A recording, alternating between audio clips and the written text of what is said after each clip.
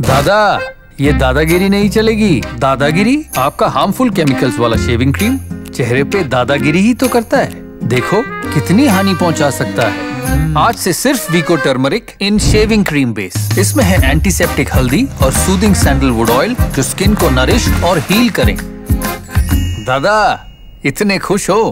कहीं शर्ट तो नहीं उतारोगे? Vicco turmeric in shaving cream base safe smooth fragrant